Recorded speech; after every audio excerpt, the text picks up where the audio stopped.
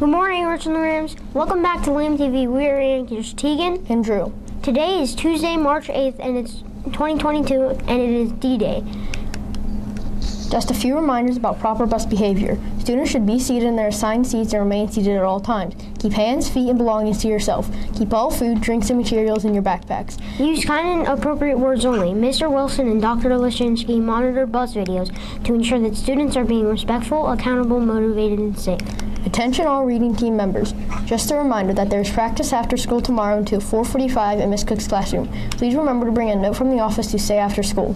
Let's take it outside for today's weather.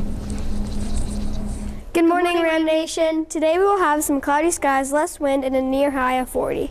Tonight we will see more clouds with some rain changing over to snow overnight with a low of 32. Let's, Let's head back in for the rest of today's news.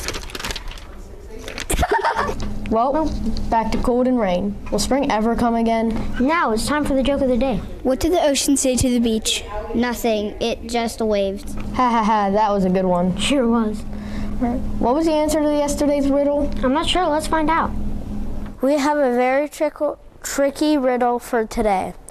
I can fill a room or just one heart. Others may have me, but I cannot be shared. What am I? A secret. Today's lunch is chicken tenders. Tomorrow's lunch is chicken noodle bowl. Wednesday is E-Day.